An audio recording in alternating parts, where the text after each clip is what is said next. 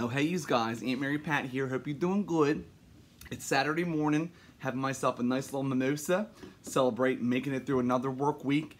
Uh, still alive, didn't kill nobody. Which is a shocker because yesterday we had the friggin' nor'easter all over the East Coast. So I'm working at Acme.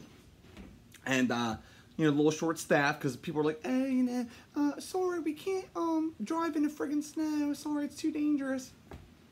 It's friggin' what, hun?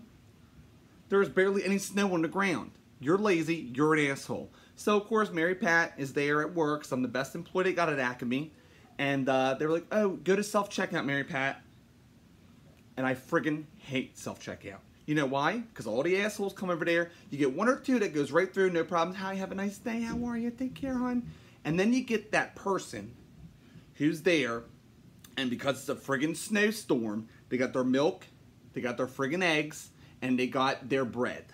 Because apparently they friggin' want to make everyone in the house friggin' French toast. Which I don't know anyone who is craving French toast because it's cold out, alright? So anywho, they're going through, check out, check out, check out.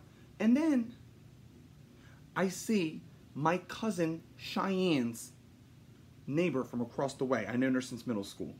And she's there. Her name is Connie. And Connie is like, oh, hey, Mary Pat, come here. I got a question for you.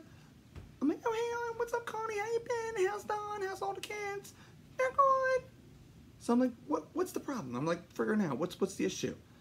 Hey, Mary Pat, I'm trying to get this stuff in the snowstorm, and um, I'm trying to use this coupon that expired last year. Can I still use it? Can you just put your numbers in the mix?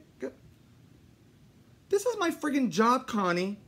It's a career, okay? It's not a playground. It is not kids' games, okay? If you want a kids' game, go home to Don and the kids, play friggin' Monopoly, and do it that way. All right? The coupon expired last year. Friggin' accept it and move on with your life. You gotta pay the extra 50 cents. I'm sorry. I'm sorry if times are tough. Get a better job. That's not my problem, okay? You're getting the necessities because of the friggin' snowstorm, worrying about saving 50 friggin' cents. How about you worry about getting home, okay? How about you worry about me getting home instead of worrying about the friggin' 50 cents? And that's all I gotta say about that. Um, other than that, I'm having a great time at home, and uh, Larry is too. Hope you are all doing good. Enjoy your weekend. Have a shot of Fireball for old Aunt Mary Pat, okay, hun?